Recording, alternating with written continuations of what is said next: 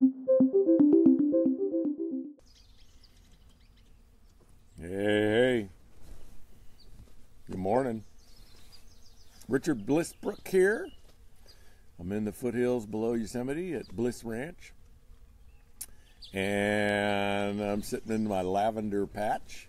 I'm doing a little uh, farming.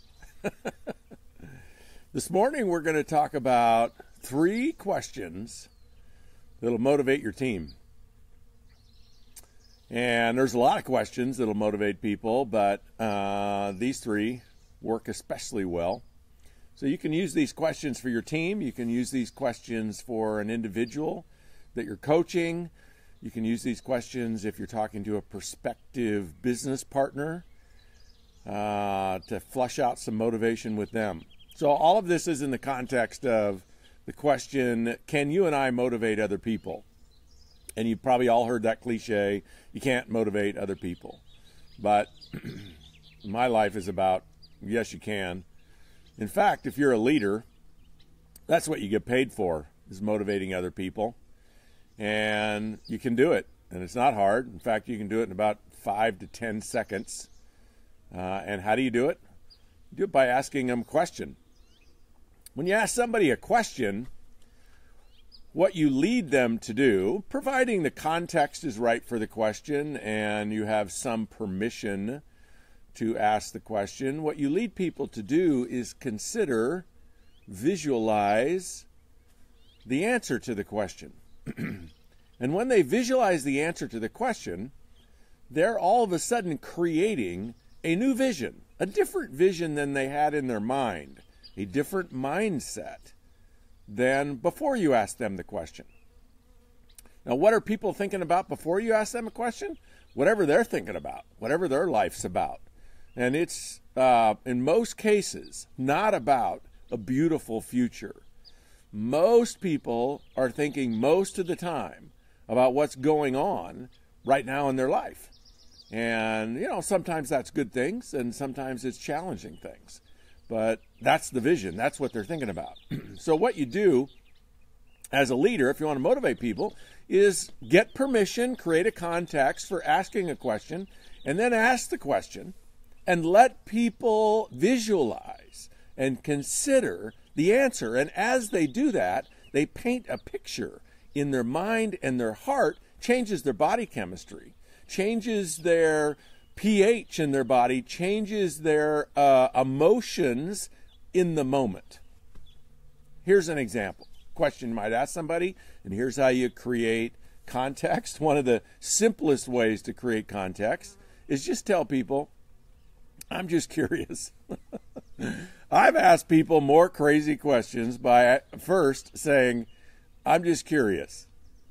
And somehow when you when you tell people, you know, I'm just curious What'd you have for dinner last night? I'm just curious, how much are you going to get in Social Security when you retire? Or, you know, I'm just curious, do you really love living where you live, or you just live there because that's where you live? I don't know. You just ask people all kinds of crazy questions. Here's a question that you can ask people that'll motivate them. and the question is um, something like, Yeah, I'm just curious if you had a rich uncle and the rich uncle left you millions and millions of dollars, or maybe, you know, you got struck by lightning twice and you won the lottery. or, you know, it doesn't really matter how it happens, but let's just say all of a sudden money's no object. Like, you don't have to grind for a living.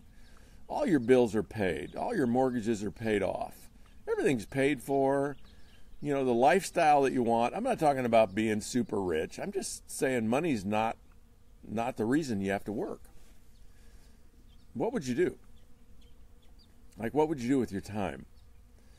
Like would you do something? Would you do would you sit around and watch TV? And you know, people that are working real hard and grinding and tired, they'll have a tendency to tell you, you know, I wouldn't do anything.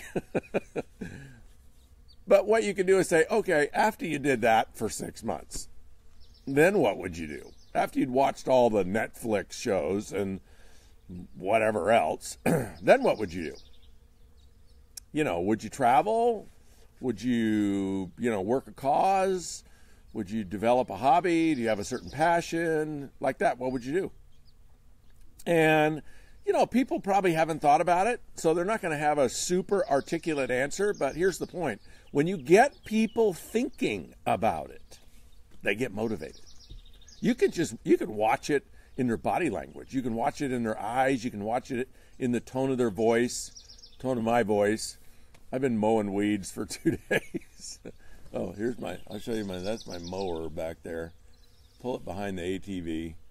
Yeah, you got to mow all this grass because in a month it's all going to be brown and dry. And that's what the forest fires happen. So that's what I do in April, part of the time. so you get people motivated just by thinking about it.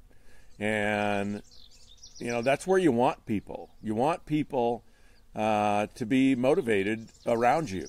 And, you know, maybe that will motivate them to join your team. Maybe it'll motivate them to try your products. Maybe it'll motivate them to read a book. You know, I use that question all the time just to pass out the four year career, you know, question like that. So what would you do? Well, I'd, I, I do this, this, this, and this.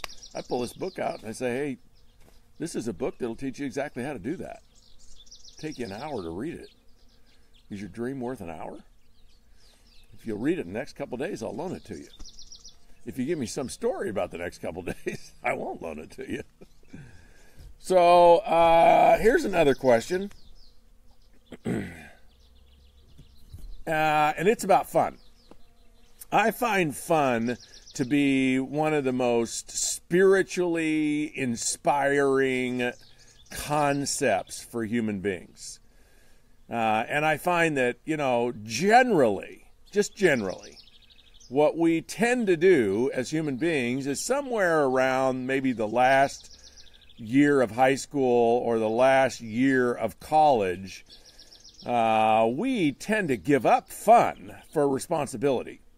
You know, we have all of this social stuff bombarding us about, you know, you need to get good grades, you need to get a good job, you need to shape up, you know, no more fun, you got to pay attention now. And, and so, you know, we succumb to that, not all of us, and, you know, all of us in different ways and different forms, but generally we succumb to that.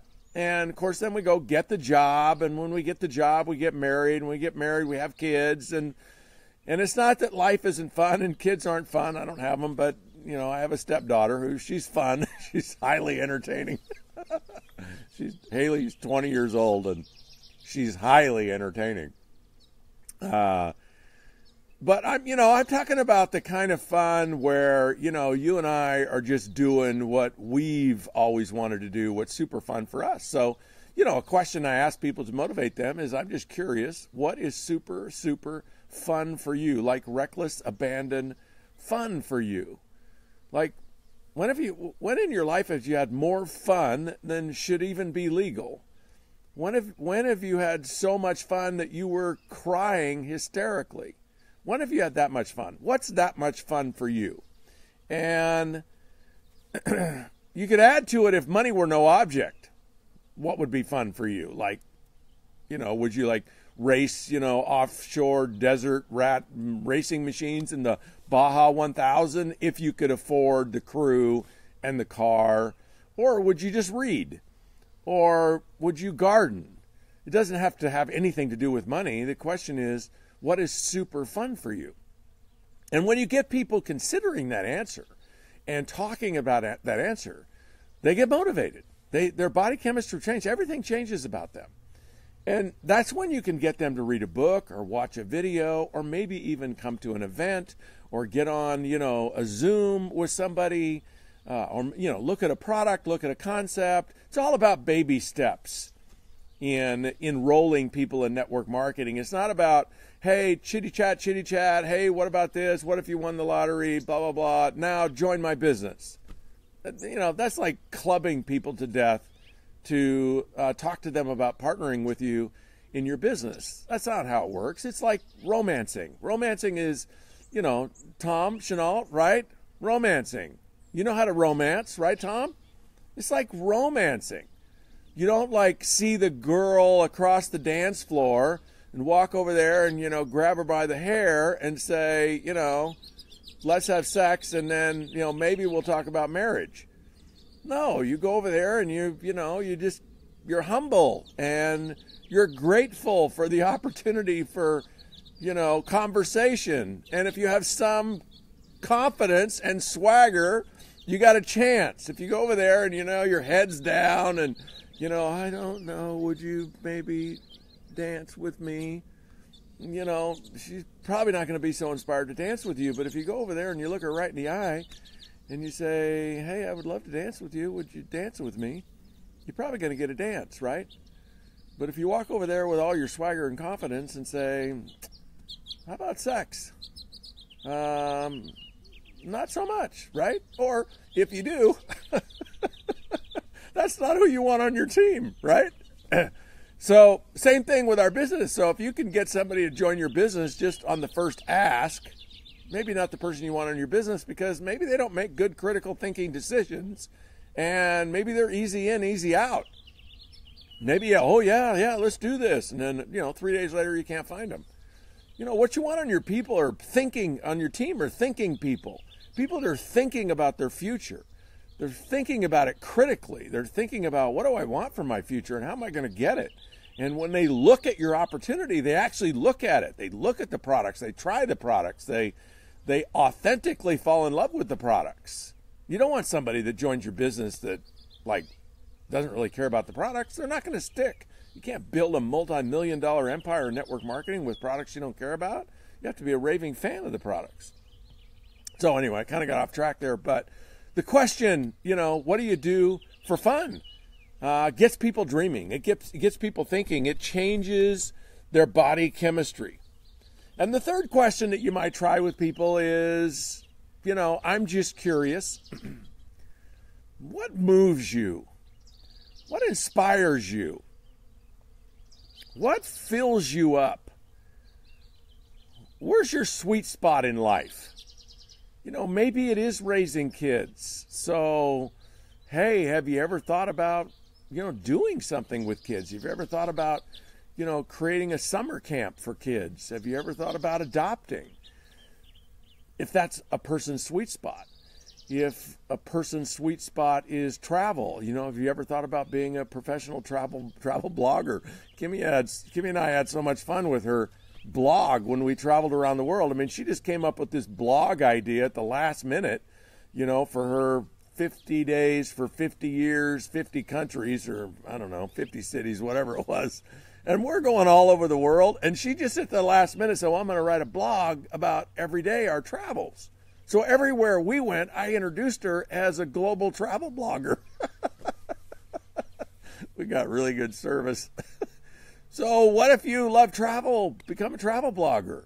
And, you know, somebody might say, well, there's no money in that. Well, what if money didn't matter? What would you do? So, the way you get people dreaming and thinking about their future in a way that moves them emotionally and physically is to ask these kind of vision casting questions. Vision casting questions. Because in order for a person to answer the question, even think about answering the question, they have to create a new vision. They have to go to a place uh, in inspiration and ingenuity that they're not in the moment. So let's say, you know, you and I are sitting on an airplane next to each other. And if I could peer into your mind and heart and get a sense of, well, what are you thinking about? Right now in this moment. You're probably, probably thinking about, I wish this plane flight would get over, so then I got to get here and get off the plane and get my baggage and hope I get a good, you know, Uber and then I got to go to this meeting or maybe I get get home or whatever people are. That's what they're thinking about. And I, I promise you, people sitting next to you on an airplane, at least 97% of them we know, 97% of them are not thinking about what they would do if money were no object. They're not thinking about what they're going to do with the rest of their life that fills them up with passion. They're not thinking about what would be the most fun for me to do for the rest of my life. Like, how could I have, like, wake up every morning and be, like, on fire about having fun? They're not thinking about that. So, guess what? They're not maximizing their inspiration. They're not maximizing their motivation. They're just sort of existing. They're getting by. You know, they're what we call yellow lighters or red lighters. You know, they're yellow lighter people just pump the brakes. You know, they just do enough every day to maintain the status quo. Don't want to lose the house. Don't want to lose my job. Don't want to go backwards financially. And then you know, red lighters are people they got their they got the emergency brake on. They're, they they might have their foot on the gas a little bit because they want a better life, but they got the emergency brake on. They're not going anywhere. They're going backwards. Because, you know, the person that's got the, the, the, red lighter sitting next to you on the airplane, they're worrying about their life. Their vision is things are going to get worse. The, red, the yellow lighter, they're just thinking about how do I maintain the status quo. Now, the green lighter next to you is probably reading an inspirational book or writing. Or, better yet, they're curious about you. That's the green lighter. That's the person who's asking you questions because you're part of their potential business? No, they're just curious. Why? Because they have the freedom to be curious about other people. They're not all wrapped up in their own stuff. So they're asking you questions. They're building a relationship with you. That's a green lighter. So how do you motivate other people? Well, one, you got to be a green lighter yourself. You got to be on fire about your fun yourself, right? You got to have a vision about where you're going and then just be curious. Hey, I'm just curious. And then ask your question and let people consider the answer and let it go where it goes. You know, this isn't about, okay, as soon as they answer your question, you hand them a four year career. No, that's just a place the conversation could go, but only if you have one with you. Uh, just let the conversation go where it goes. It's magic, absolutely magic. All right. That's this morning's lesson.